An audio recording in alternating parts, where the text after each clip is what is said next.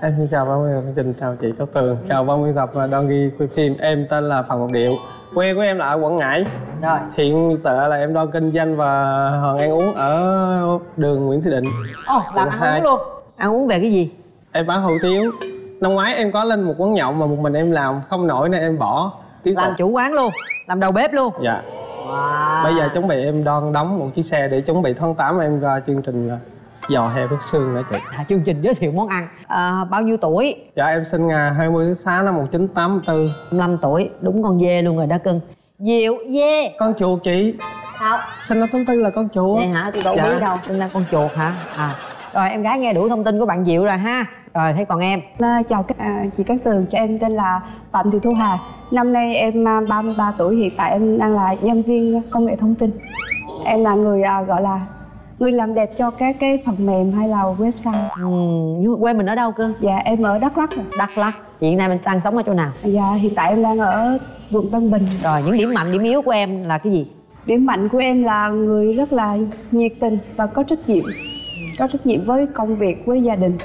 Còn à, điểm yếu của em là em à, không thích đám đông cho lắm. Em hơi à, hơi run khi gặp đám đông. Hơi rụt rè ha Dạ. Mình còn có cái tật xấu gì không? Hay là có cái điều gì đặc biệt nữa không trong cuộc sống của mình? em hơi nguyên tắc á cái gì mà đã quyết định hay là đã nói ra thì sẽ làm cho tới nơi tới chốn Có bảo thủ không? có một chút ạ À, thấy cái nét này là có vừa nguyên tắc vừa bảo thủ nữa Điểm xấu, điểm tốt của em là cái gì? Em thì cái gì cũng bình thường, cái gì cũng tốt.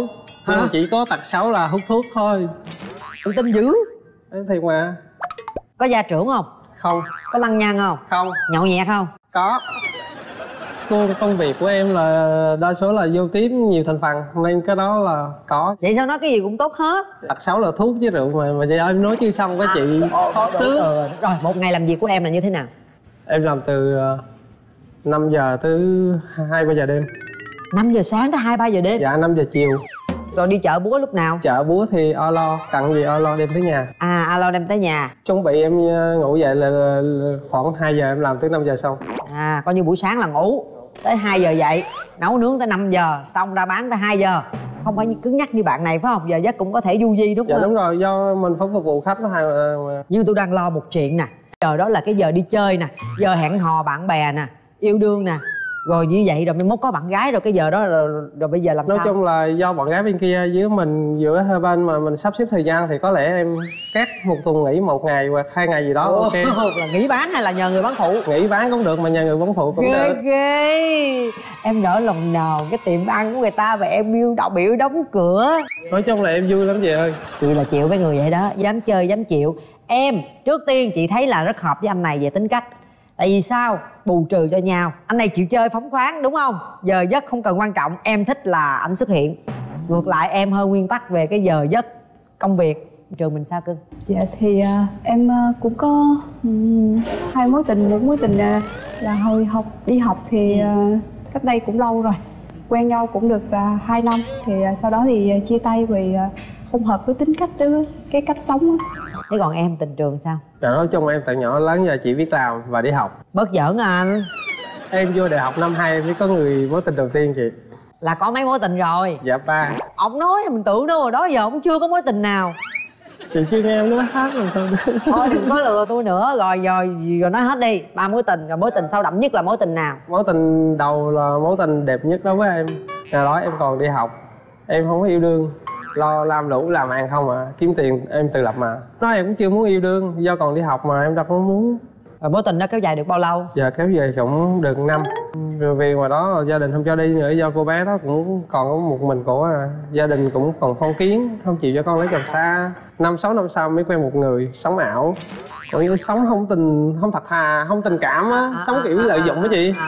mối tình thứ ba cũng thế rồi cuối cùng em ở dài luôn đến tới giờ luôn. Ồ, kết thúc cái mối tình thứ ba là cách đây bao lâu? Khoảng 4 năm. Là 4 năm nay là ở không đó Dạ. lo làm ăn không đó. Ủa mà sao con trai mà tên điệu vậy? Có ý nghĩa gì tên điệu không? Đi cũng hỏi sao con trai mà đặt tính điệu giống như con gái vậy? Mà mình có điệu không? Cũng chút chút chị. Đó có thể là điệu điệu ba mẹ thấy từ nhỏ mới đặt tên điệu chứ. Muốn tìm một người bạn gái như thế nào? Yêu thương và quan tâm lo lắng trên công việc cũng như là về phần gia đình. Lúc nào cũng nghĩ về gia đình là trên hết. Cho cho chị mượn cái hình em chị coi coi. Về vóc dáng ngoại hình. Tôi thích là từ 50 một mét 55 đến mét 7 cân nặng là từ bốn bốn bốn năm bốn tám đi đến năm mươi tư đổ lại được rồi vậy thấy chừng đó nha. Xem thử coi có tìm thấy cái mẫu người lý tưởng của mình trong này không? Còn em em muốn tìm một mẫu người bạn trai như thế nào? Lớn tuổi hơn em à, cao khoảng mét bảy trở lên. Có trách nhiệm cầu tiến tôn trọng gia đình. Dễ nhìn sạch sẽ là được chị đây xem thử có anh bán hủ tiếu trong này có sạch sẽ không? Anh điệu lắm đó. Gì mà coi kỹ dữ vậy? 30 giây để đưa ra quyết định của mình. Xem thử cái sự chọn lựa này tham khảo thôi. Chọn theo linh cảm của mình xem coi nó có có đúng hay không thôi. Và bây giờ thì các tường xin mời cả nhà ơi. Không biết cái này với cái này không biết sư giúp này. em hỏi chị chị đố em mà em hỏi chị. Trong hai tấm hình đó là phải có cổ hết cả hai. Đó cho nên em lựa trên xong em focus xuống dưới và có nữa thì mới đúng. Rồi xin mời mọi người hãy nhìn về cửa trái tim. Chúng tôi sẽ mở cửa ra để các bạn kiểm tra xem sự lựa chọn của mình hôm nay có đúng hay không nha. Mở cửa trái tim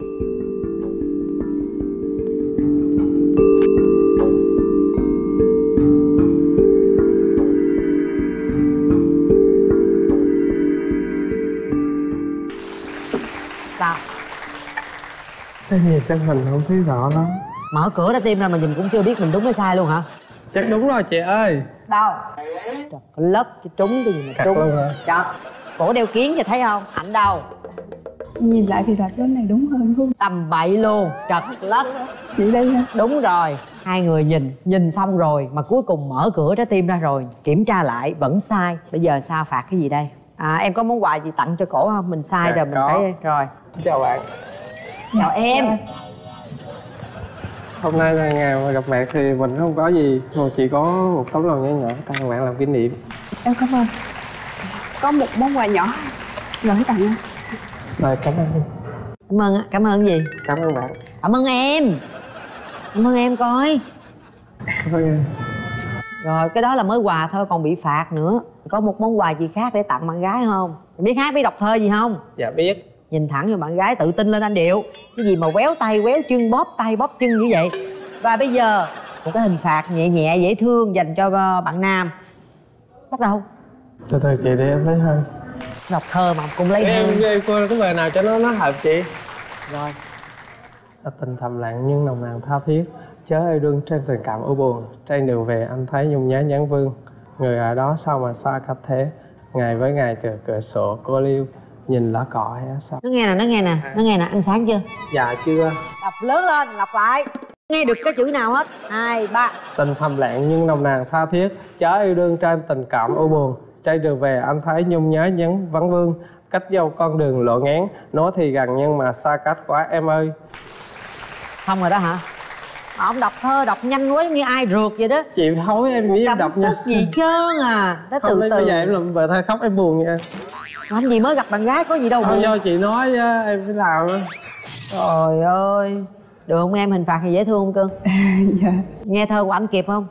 Dạ có khúc kịp có khúc không chị? À.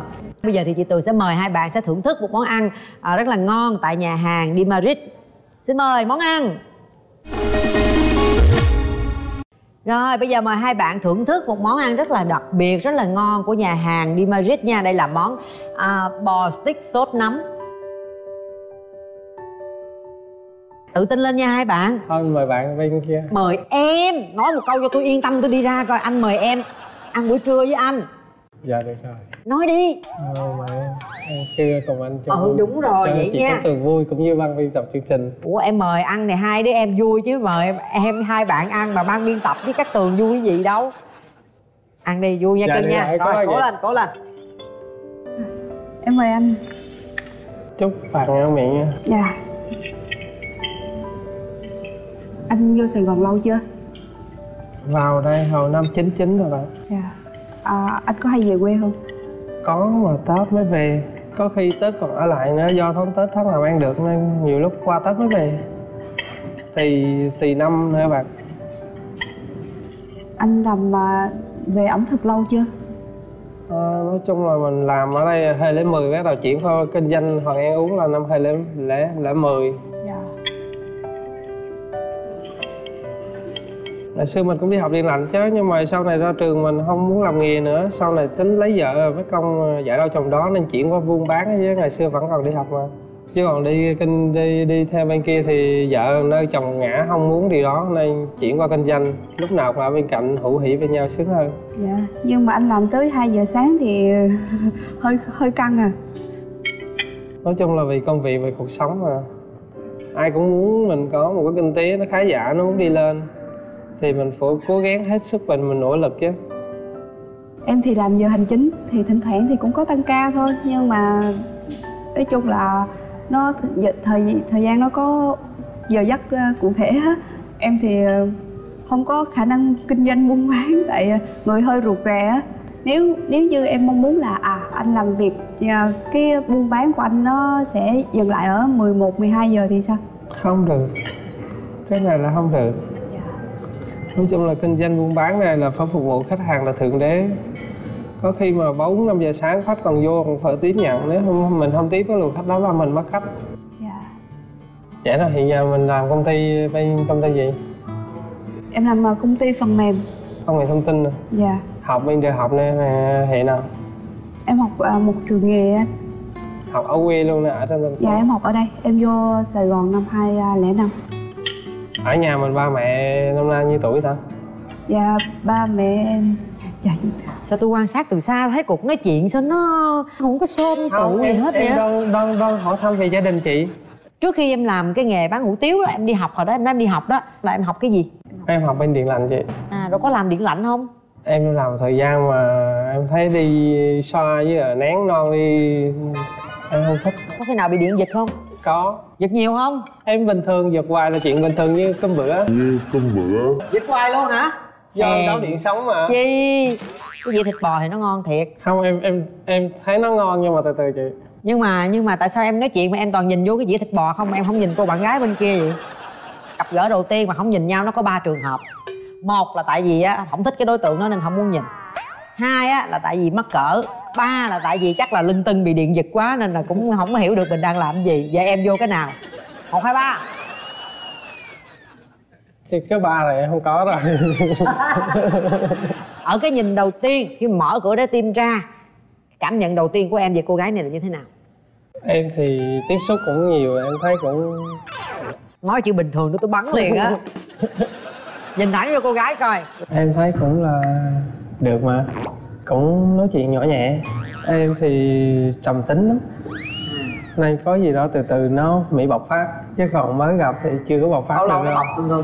nói chung là do do con tim mách bảo chứ mình không nói được. Còn em gái khi mà lần đầu tiên em cảm nhận về cái người bạn trai đối diện thì em thấy anh ấy là người như thế nào? Thấy là một người hiền là hơi rụt rè. Em đã rụt rè mà anh còn rụt rè hơn em ờ, thấy chưa? Người ta che em không rụt rè đâu chẳng qua là mới đầu vô tiếp em vậy thôi anh không có rụt rè đâu anh chỉ hơi chậm một chút thôi chậm một chút thôi.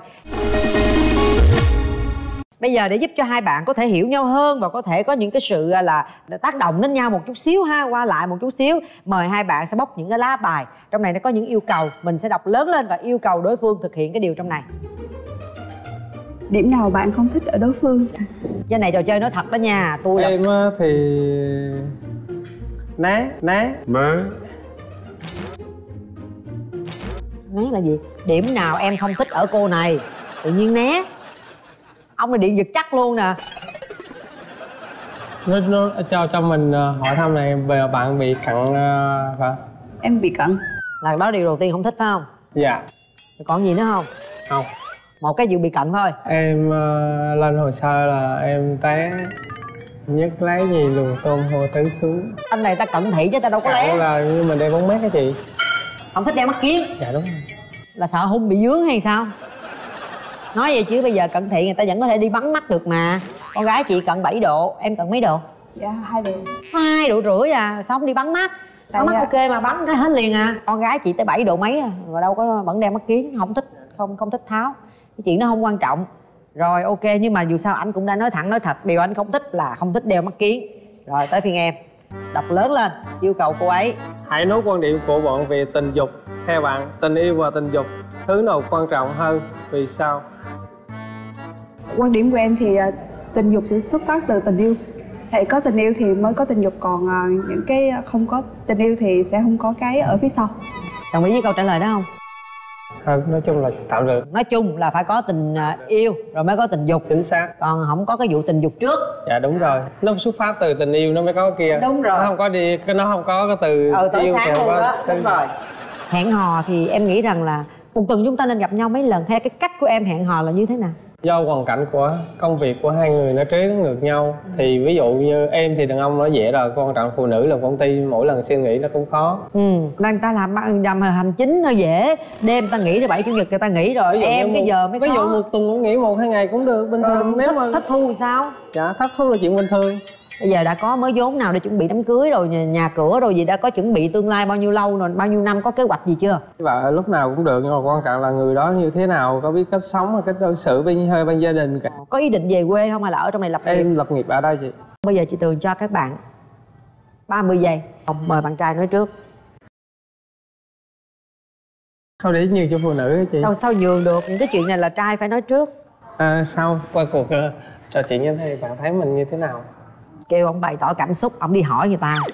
Em cũng non lấy nói, vợ với lắm cổ chứ nói với cổ chứ phải nói với chị. Gia đình ba mẹ ờ, cũng như anh em dòng họ thì cũng muốn ừ, con nó lớn rồi cũng muốn lo sự nghiệp lo tương lai.